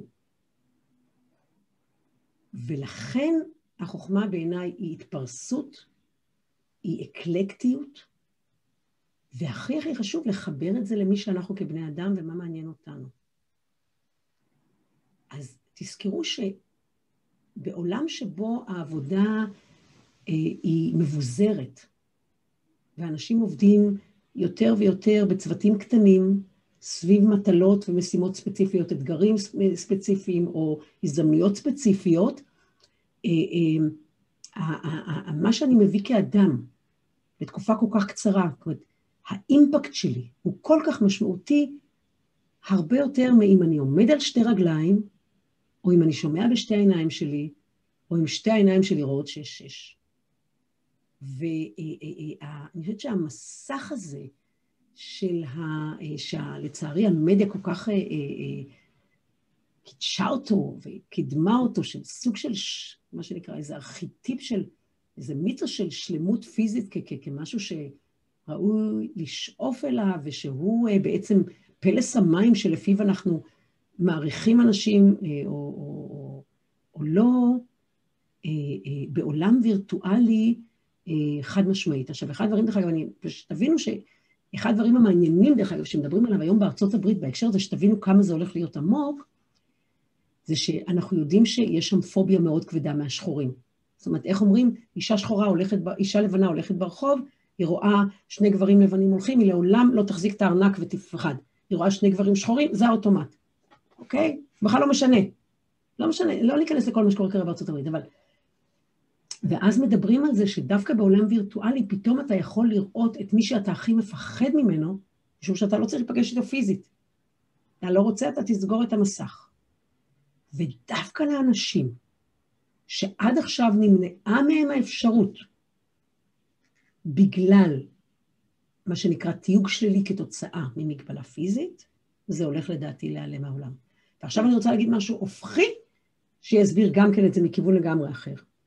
תראו, חמישית מהאנשים בעולם המערבי לא יכולים לנהוג. הם לא רואים מספיק טוב, הם לא שומעים מספיק טוב. אני נוהגת, לצערי הרב, אה, ואני, לדעתי, אני שייכת אליהם, רק לא מרשים לי, אני צריכה בכל זאת מדי פעם לנהוג, להשתדל כמה שפחות. האנשים האלה לא מגיעים לטיפולים רפואיים בזמן. קשה להם להשתלב במקום העבודה וכן הלאה. הרכבים האוטונומיים, וחבר'ה, תאמינו לי, יכולים להגיד לכם מה שרוצים. הרכבים האוטונומיים יגיעו כל כך מהר, כל כך מהר. וזאת אוכלוסייה שתהיה השפעה אדירה על איכות החיים שלה ברגע שזה יגיע. ואני רוצה להזכיר לכולנו שהפמיניזם הצליח לצבור תאוצה, ונשים יכלו לצאת למקום עבודה, להתחיל להיות בעלות רכוש וכסף משלהן, ואנחנו יודעים שזה קריטי. דרך אגב, הייתה שיחה מדהימה שלשום, אני ממליצה לכם לשמוע, של מלינדה גייטס, אני שנייה פותחת סוגריים עם ברנה בראון, היא דיברה אה, למה היא שמה את אה, משקלה על שחרור, על מה שנקרא קידום נשים. היא אמרה שלפי הסטטיסטיקה הנוכחית, אה, אנחנו נגיע לשוויון בין גברים לנשים בעולם עוד 220 שנה. ובארצות הברית עוד 60 שנה, שימו לב. ו, ואם מסתכלים על מתי נשים יצאו החוצה, זה שהתחיל להיות מה שנקרא התחבורה יצאה, כי עד אז הן היו ספונות בבתיהן. אז אני מראה לכם איך מכיוונים לגמרי שונים, מגמות לגמרי שונות, הולכות לשנות את עולם העבודה, אבל האוכלוסייה שלכם, הכל כך משמעותית, שיש לה פוטנציאל אנושי כל כך גדול, יש כל כך הרבה דברים שירימו את המסך ויאפשרו להם השתלבות הרבה יותר טובה. ותבינו, ברגע שאני בריאה ושלמה צריכה את הטכנולוגיה בדיוק כמו מישהו שלא, נגמר. השוויון, יש שוויון בינינו. אנחנו בדיוק באותה נקודת פתיחה. בדיוק באותה נקודת פתיחה. כן, אמ, אני חושבת שזה באמת משמח לשמוע, א', שכל הנושא של ההדרה שחווינו אה, לגבי אנשים עם מוגבלות בעצם תיעלם, אה, והם יוכלו אה, בעצם להשתלב בשוק העבודה באופן מלא כמו אחרים. מה שאותנו מאוד מעסיק זה מה יקרה לגבי אנשים אנשים עם מוגבלות זה אנשים ב, כמו, כל, כמו כולם, זאת אומרת, לאחדים יש כישורים מאוד מאוד גבוהים, ולאחדים יש כישורים אה, בינוניים, או אולי אה, אה, לא, לא טובים במיוחד. מה יקרה עם כל אותם האנשים שהם באמת, אין להם כישורים או יכולות למידה טובות, כי, ודווקא בעולם שידרוש למידה נונסטופ. אז, אז אני אצטט את אידי ויינר המופלאה באחת, באחת ההרצאות שלה, שהיא אומרת שגם בסטאר-טרק, מי שהציל תמיד את היום, היא אומרת, זה היה האינסטלטור, ה plumber. וצריך לזכור שלכל המערכות המורכבות שיהיה לנו, כן, אנחנו עדיין נצטרך אנשים שיתקנו את, המז, את, המז, את, את המזגנים, ועדיין נצטרך אנשים שיתקנו את המעליות. ואנחנו עדיין נצטרך אנשים שיתחזקו את הרכבים האוטונומיים. אומר על זה, דרך אגב, נורא מצחיק, אה, הוד ליפסון, שהוא אה, פרופסור לרובוטיקה, אה, מוביל בתחום של הרכבים האוטונומיים, אומר, כמה שאנחנו מתאמצים, אנחנו עוד לא, לא נצליח להמציא הרבה, לא נצליח להמציא בקרוב רובוט שינקה רכב טוב כמו בני אדם. אז הוא ממש אומר, לא משנה מה אנחנו עושים, אנחנו לא מצליחים למצוא כזה רובוט. אז אני חושבת שזה גם כן יהיה מאוד משמעותי. אני חוזרת ואומרת שכל מה שקשור לחמלה, וזה לטפל במבוגרים שלנו, זה הכוח הסיעודי בבתי החולים. אה, אני רוצה להגיד שאנחנו נערכים לתקופה שרוב הפעילות שלנו בעולם הרפואה תתרחש בבית. אנחנו רואים שיפט, יהיה. בתי החולים כרגע, 70 אחוז מהאנשים שמגיעים לשם לא צריכים להגיע לשם. חבל שהם מגיעים לשם. זה נורא, זה, זה עושה נזק נוראי למערכת, אבל מה שיותר חמור זה ש... לא יודעת אם אתם יודעים, אבל רבע מהאנשים שמתים בבתי חולים בכל העולם המערבי, מתים בגלל טעויות אבחון, בגלל העומס, ו-40 אחוז לפחות יוצאים משם עם משהו שהם לא, שלא, לא הגיעו איתו. אז חבר'ה, אם אתם יכולים לא להגיע לבתי חולים בלי שום קשר לקורונה, ממליצה. ויש הבנה היום של הדבר הזה, והטכנולוגיה היום, זה נורא מצחיק, אה, שבעצם תחשבו איך הרפואה התחילה. הרפואה התחילה בזה שהרופא בא אליך הביתה, נכון? ואז הוא היה נותן לך פרספשן ואתה היית הולך לרוקח, שהיה רוקח לך את המחלה, את התרופה, בדיוק שמתאימה לך. אנחנו בפול סייקל חוזרים למקום הזה כרגע. עכשיו, לאנשים האלה שנמצאים בבית, מישהו יצטרך לבוא. אז נכון שיהיה לנו מערכות, נכון, שתומכות, אבל אין תחליף לשיחה. ואין תחליף לזה שאני אבוא לעשות אצלך פיזיותרפיה יחד איתך. ואין תחליף לזה שאני אשב ואני אשתה איתך כוס תה, ואנחנו נשמע ביחד את שירי הילדות שלך. וזה דברים שיש בהם בעיקר צורך באמפתיה וברגישות, ואנחנו חיות חברתיות. אתה לא צריך להיות גאון הדור, אתה לא צריך להיות איינשטיין, כדי שתהיה לך יכולת להתפרנס בצורה נאותה. אז זה אה, בעיניי אה, אה, סוג, אז דבר ראשון, כל מקצועות הכפיים הבסיסיים, אני לא מדברת על נהגים וכן הלאה, אני חושבת שיהיה לנו, גם, גם אם יהיה לנו, יהיה לנו, גם אם יהיה לנו מנקי רחובות שהם רובוטים, עדיין מישהו צריך לפקח עליהם, עדיין מישהו צריך לגלות את המקומות שהם לא רואים, אוקיי? אנחנו מדברים יותר ויותר, חבר'ה, צריך להבין, המכונות לא הולכות להחליף את האנשים. אנחנו בונים מודל היברידי של שילוב, ולא משנה כרגע, אם זה הרדיולוגים שהתייעצו עם הבינה המלאכותית, אוקיי? וזה לא משנה כרגע אם זה מה שנקרא אה, אה, אה, אה, ניקיון של הרחובות, שלי תהיה מערכת, אוקיי, שאני עוקבת אחריהן. המכונות לא מחליפות, הן משחררות אותי מהמטלות שאני לא רוצה או לא צריכה, או לא כדאי שאני אעשה, או מעלות אותי בסולם העשייה, כמו שדיברנו על הכספרים, שמה שנקרא, הן מאפשרות לי לעשות דברים נוספים שעד עכשיו לא עשיתי, שנוגעים לעבודה שלי, אבל הם לא, הם לא במתחם הקלאסי. כן. Okay? אוקיי? המכונות לא מחליפות את האנשים. אם מישהו... וגם אם כן, אז אני אגיד לכם, אני אגיד את זה ככה, כולכם חיים בבית עם כמה רובוטים, כבר היום. כל מי שיש לו מכונת כביסה בבית, יש לו רובוט. מכונת כביסה זה רובוט. מי שיש לו מייבש, הם חיים עם רובוט, אוקיי? פשוט הרכבים האוטונומיים יהיו הרובוטים הראשונים שאנחנו ניתן להם, מה שנקרא, את חיינו. אבל אנחנו לא, זה לא בא להחליף, זה בא לאפשר. וזה מה שההיסטוריה מלמדת אותנו. ומי שמפחד, תסתכלו אחורה. תסתכלו אחורה. כל פעם. תבינו שבארצות הברית ב-1860 ו-70, אה, למעלה מ-87% מהאוכלוסייה עבדו בשדות. בגיל 13 היית גומר את ה... בגיל 13 היית הולך לעבוד בגינה, לעבוד בכפר. וכשהתחילה האוטומציה, וממשלת ארה"ב החכמה הבינה שזה הולך להיות שינוי, היא קבעה את חוק חינוך חובה. היום שני אחוזים בלבד בארצות הברית עובדים אה, בחקלאות. אני לא רואה שהם רעבים, נהפוך יש לנו שם בעיה אחרת. אבל תבינו שאם ארצות הברית לא הייתה עושה את זה, היא לא הייתה מסוגלת להפך למעצמת העל. היא בנתה את התשתית האנושית. והתשתית האנושית היא תמיד הכי חשובה. לגמרי. אני...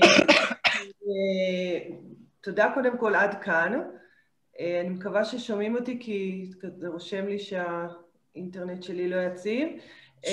ורצינו ככה באמת לפנות אה, רבע שעה אחרונה לשאלות יותר אישיות. אה, יש, יש כמה שאלות בצ'אט שאפשר אה, להסתכל עליהן. אז רגע. ענית. כן. ענבר שאלה, למשל, רציתי לדעת שאת מדברת על היעלמות התהילה של לימודים אקדמיים ושינויים בעולם העבודה, מה טווח השנים לשינויים האלה? אמ, ומה באמת ליאת שואלת, זה מתחבר לזה, מה התשתית הלימודית שמומלצת היום? אמ, אם יש מישהו שרוצה גם לעלות אה, ולשאול שאלה במסך, אז אה, אה, ברשת, אז בשמחה תכתבו לי. אה, הטווח, הטווח זה העשור הקרוב. אה, חבר'ה, אנחנו, אנחנו בתקופה של האצה של האצה. זאת אומרת, השינויים קורים הרבה הרבה הרבה יותר מהר. אני יכולה לספר לכם ש... אה, אוקיי, 2020 פשוט אין לנו דאטה בגלל כל מה שקורה, אבל 2019 הייתה השנה הראשונה שגם הרווארד וגם סטנפורד, כאילו האוניברסיטאות שכאילו אתה בא ואתה אומר, אם אני שולח לשם את הילד שלי, מה שנקרא, אני מכין אותו לעתיד בטוח בכל סיטואציה, הייתה פעם ראשונה ירידה,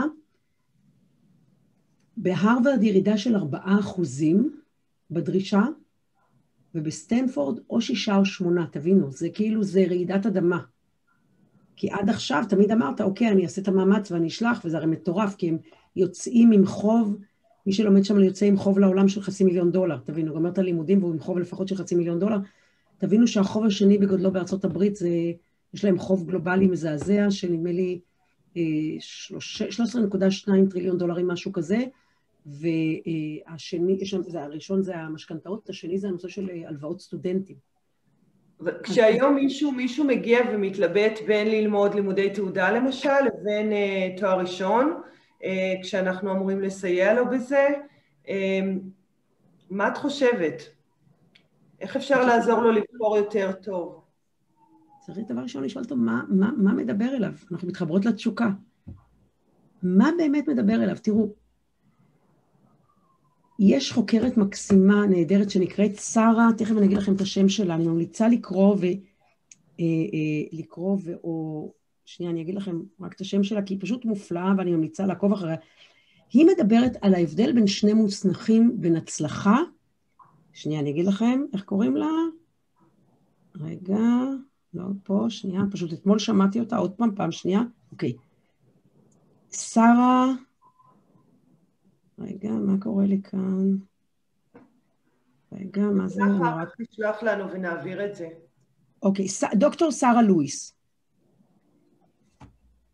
ודוקטור שרה לואיס מדברת על ההבדל בין הצלחה, success, ואני מתנצלת, אני לא, אין לי מילה טובה לזה בעברית, שנקראת mastery.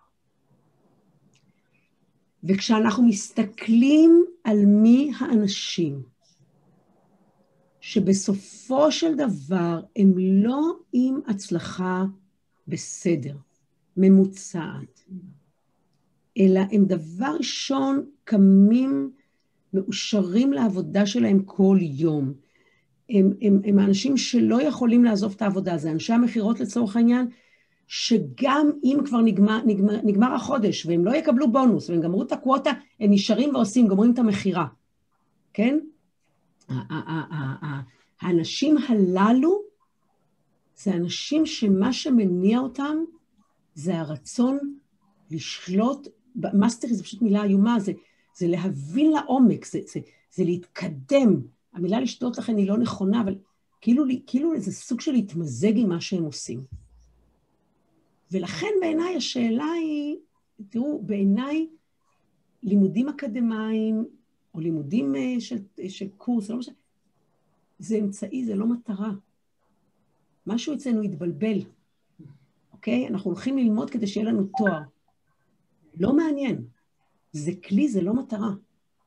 ולכן השאלה, במה אתה רוצה שתהיה לך את אותה תחושה של שייכות, של מחוברות, של צורך אינטימי כמעט, להיפגש עם אותו נושא. שזה בוער בעצמותיך, להבין את הדבר הזה. ואז זה בעיניי הפלס מים של להסתכל על מה יש בסילובוס פה, מי המורים פה, מה המשימות, מה האתגרים שיהיו לי כאן, ומה מה יהיה לי בצד השני.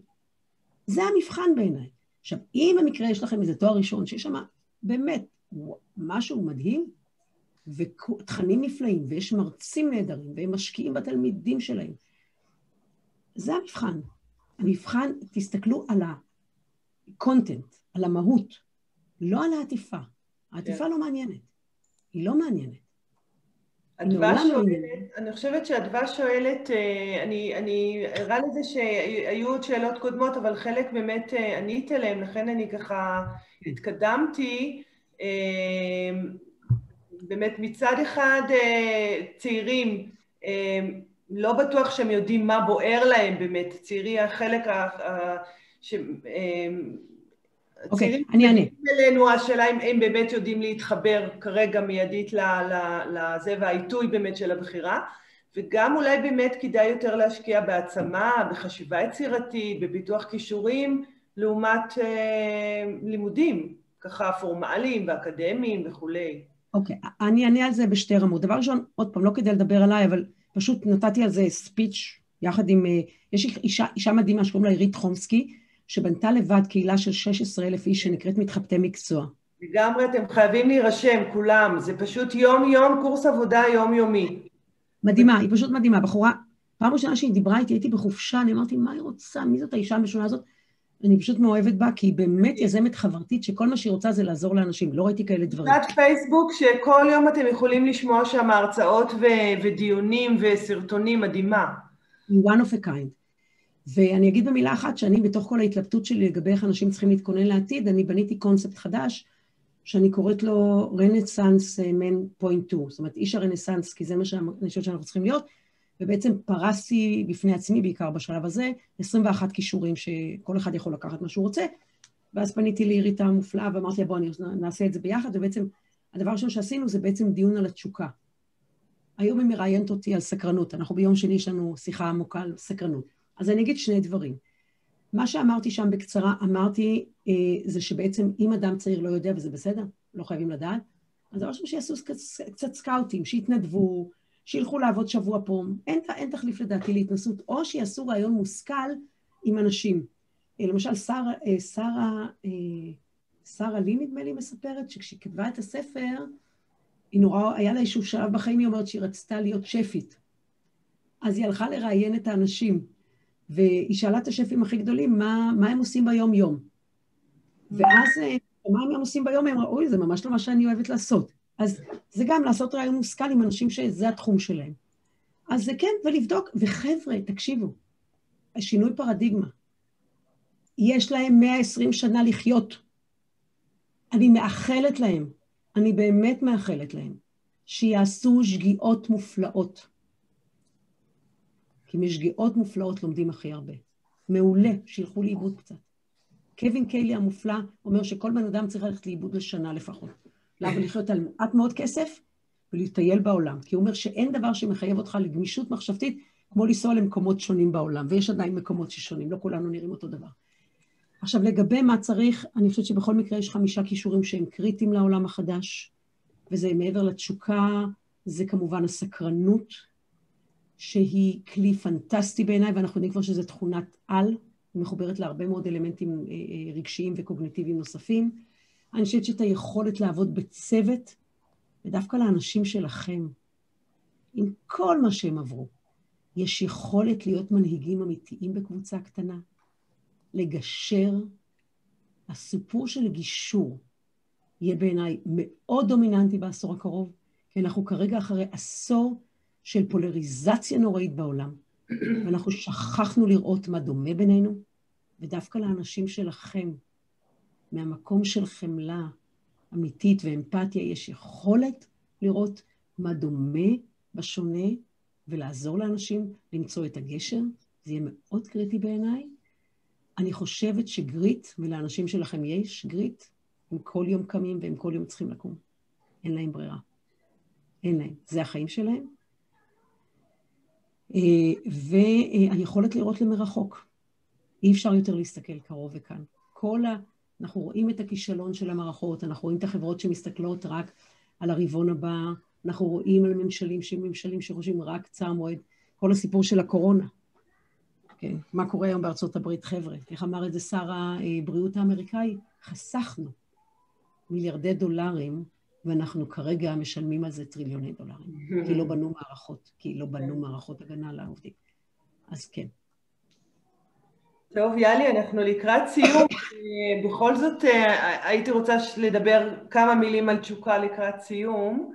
אה, ככה ואיך את מחברת את זה באמת לבחירה מקצועית ולעבודה. אה, פעם, כשהייתי מאוד צעירה, קיבלתי ספר ש... שאבא של חייל שלנו שנפל, והשם של הספר היה "העולם היה בתוכי". זה היה לזכרו של, אם אני לא טועה, חייל מופלא שלנו מאשדות יעקב, שנדמה לי קראו לו עופר דנצינגר, אבל יכול להיות שאני טועה בשם המשפחה שלו. בחור צעיר. עכשיו, כשאתה מגלה את התשוקה שלך, אה, העולם עומד. הזמן חסר משמעות. אתה, יש לך הבנה מאוד עמוקה מי אתה, מה התפקיד שלך כאן, לאן אתה צריך לכוון את האנרגיה שלך. אה, ואני מאמינה שלכל אחד מאיתנו יש תשוקה. אני חושבת שפשוט חלקנו הגדול, בגלל סגנון החיים, הנורמות החברתיות, הדרישות שלנו מעצמנו, אנחנו הרבה פעמים שמים את זה בבוידן.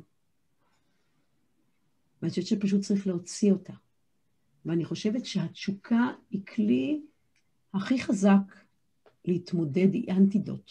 היא החיסון הכי טוב לפחד. כי אתה לא, אתה מפחד. אתה מפחד, אבל כנגד זה יש כוח לא פחות חזק.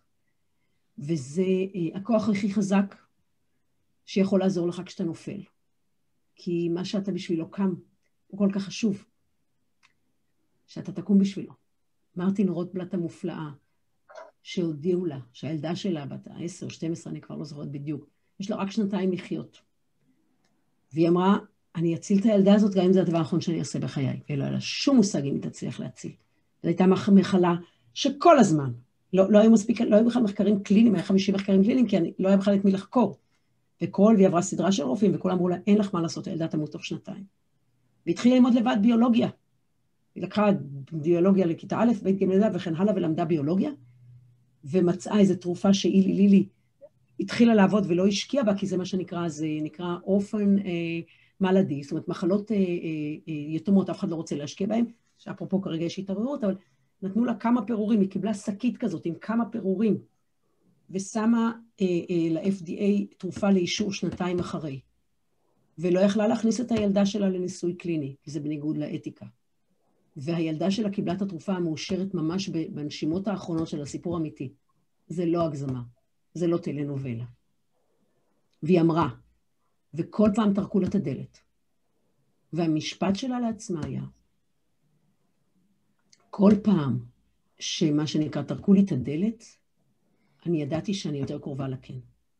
זאת אומרת, מה שאני מנסה להגיד, שיש לדעתי קו מחבר בין תשוקה ובין עמידות, וזה היכולת להתמסר.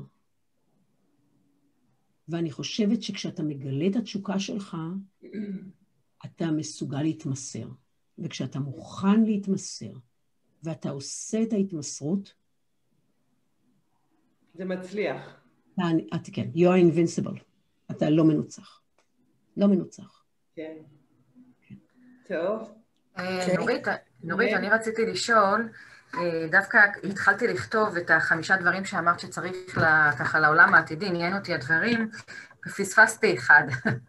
לא, לא, מה כתבת? תגידי מה כתבת. רשמתי את התשוקה והסקרנות, את היכולת לעבוד בצוות, אה, יכולת לראות למרחוק. עמידות. גישור, ומה עוד אמרת? עמידות. עמידות, למה התכוונת בעמידות?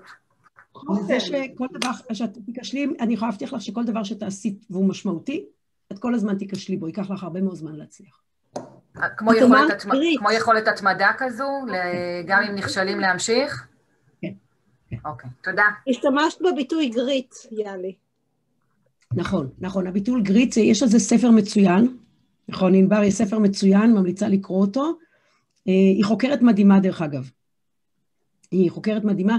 היא דרך אגב מדברת על זה שכישלון, כישרון הרבה הרבה הרבה פחות חשוב מאשר עבודה קשה, ויש ציטטה נורא מעניינת בהקשר הזה שמדברים על האחים רייט, ושואלים מישהו שעבד בתקופה הזאת, והוא אמר, הוא אומר, אז אמרו, הם היו מוכשרים, הם היו חכמים, הוא אומר, לא, הם, הוא, קרא, הוא קרא לזה workable, זאת אומרת, הם כל הזמן עבדו, הם פשוט, הם כל הזמן עבדו. הם, תחשבו, לא היה אז אינטרנט, והם זיהו בכל מדינה בעולם מי כותב, וכתבו להם מכתבים, אוקיי? הם עבדו 24 שעות ביממה, זה מה שעניין אותם. ואני רוצה להזכיר לנו שבאותה תקופה היה את אה, קולונל לנפלי, אם אני לא טועה, לאנגלי, סליחה, שקיבל מממשלת ארה"ב מיליונים רבים, והיה אחריו זנב של מה שנקרא אנשי תקשורת, כי הוא היה אמור, זה שהיה אמור להביא את הכלי תעופה הראשון. ואתם יודעים מה קרה ביום אחרי שהאחים רייט אה, אה, הצליחו? הוא נעלם. תראו איזה כמה האגו בעייתי. לא אני עשיתי את זה, במקום לקחת את כל התקציבי הענק שלו ולשבת עם האחים רייט, ושהם היו עושים הכל הרבה יותר פשוט והרבה יותר מהר, לא, אני לא עושה את זה, אני לא. עכשיו תראו, זה הסיפור. הוא אמר, הם, היו, הם עבדו קשה. עבודה קשה היא מאוד מאוד קריטית. אין קיצורי דרך. כן. יאלי, אה, לצערי אנחנו צריכים לסיים. כן. אני אה, ככה מעבירה לכרמל את ה... כן, אה, תקשיבי, יאלי, אני חושבת שאנחנו יכולים להישאר איתך עוד כמה שעות. אני חושבת שכל אחד מהנושאים שאת העלית כאן הוא באמת, הוא פתח לעוד הרצאה, ואני קודם כל להודות לך בשמי ובשם אה, כולנו, באמת על הרצאה מרתקת, אה, באמת מאלפת, את פשוט מדהימה ואוצר ידע בלום, כיף לשמוע, באמת אפשר לשמוע אותך בלי סוף. ואני באמת מקווה, אנחנו נחשוב באמת על איזושהי מתכונת, אני חושבת שאת נגעת בהמון דברים, גם מרחיבים, אה, מרחיבי ידע, וגם צלילה לתוך, לרזולוציות שהן מאוד מאוד רלוונטיות לעבודה היומיומית שלנו, וזה היה אה, שילוב מדהים. ואני רק אסיים, אה, שכנראה אין הרי מקריות בעולם, והמפגש הזה איתך הוא מתקיים ביום שיש בו שני אירועים מיוחדים, היום הוא היום, יום השואה הבינלאומי, הוא גם ערב באב, ואין ספק שהוא תמהיל שמדבר על עמידות, על צמיחה, על חמלה, אומרת, ובאמת עם הרבה מאוד אופטימיות. זאת אומרת, היום זה יום באמת מלא אופטימי, אופטימיות, ואין ספק שהשעה שלך הוסיפה רבות לאופטימיות שכולנו צריכים להחזיק בה עכשיו ולהפוך אותה באמת לאבן דרך מובילה בהתנהלות שלנו. אז יאלי, המון המון תודה. תודה, תודה לכם. תודה, היה לי לעונג להיות איתכם. ועוד פעם, תודה לכם על כל מה שאתם עושים בשבילנו, בשביל החברה הישראלית. תודה. תודה. תודה ולהתראות. תודה ולהתראות. ביי. ביי.